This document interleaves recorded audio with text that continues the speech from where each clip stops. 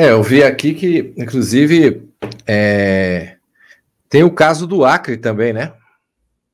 É, esse caso no Acre foi o que eu comentei no começo, onde uhum. lá em 2020 eu consegui obter da FUNAI, da Polícia Federal do Ministério Público, é, documentos mostrando que os índios, os indígenas do Acre estavam sendo, é, entre aspas, atacados por feixes luminosos provenientes desses fenômenos.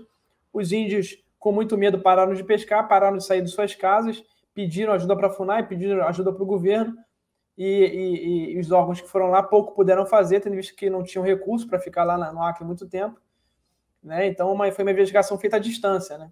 É, e não podia ajudar muitos índios, o fenômeno foi indo embora e migrando para as outras aldeias. Em 2016, um desses objetos desce em uma dessas aldeias e dispara feixes de luz luminosos contra o índio. O índio dispara é, é, é tiros de espingarda e após essa, essa, esse disparo do feixe luminoso, o índio caiu desacordado e foi socorrido por um professor.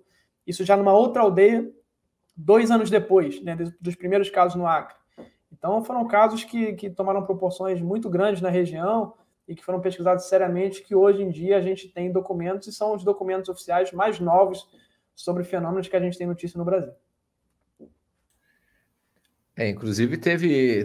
Tá tendo muita coisa aí quando a gente fala lá do, do, do caso de Minas Gerais lá. É, a gente foi tirado, né? Inclusive, amigos da gente aí falou que, que foi falar do, do chupacabra na época, né? Eles tiraram. Você também tem alguma informação para gente sobre esse caso? Não, desse caso específico não. Não pesquisei esse Não, mas é, é porque que às vezes eles tentam é, simplesmente eles começam que nem a gente, se a gente começa a falar aqui de um caso, alguma coisa, eles dão um jeito ou de derrubar a live, ou de cortar a gente, por exemplo, começa a cair a internet, tudo acontece. Por que isso? Exatamente. Na, na época do caso Magé, isso acontecia muito, né? Isso acontecia direto. Né? E assim, é uma forma de. de, de, de, de... Por que, que os governos não querem falar sobre isso, né? E é por isso que está esse movimento todo que a gente vai falar hoje nos Estados Unidos. Os governos não querem admitir né, que eles não têm capacidade para defender a sua população. As Forças Armadas estão aí para defender a população. Como é que eles vão admitir? E, são, e geralmente quem, quem investiga esses casos é quem tem capacidade para isso. Quem tem capacidade para isso? De chegar em regiões isoladas, de ter aeronaves, é as Forças Armadas.